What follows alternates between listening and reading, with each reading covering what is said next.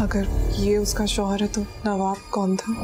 याद करो क्या किया था इसके साथ तुमने? शैतान था। हो सकता है वो हमें कुछ बताना चाह रही है। जब भाई को पता चलेगा ना कि आप उनकी बेटी को कोई और ही मखलूक समझ रही हैं तो बहुत बुरा लगेगा उन्हें। वो बारी बारी सबको मार रही है।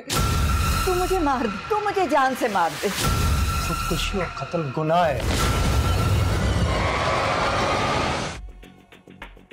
नीली ज़िंदा है। देखिए आज रात आठ बजे सिर्फ़ ए आर वाई डिजिटल पर।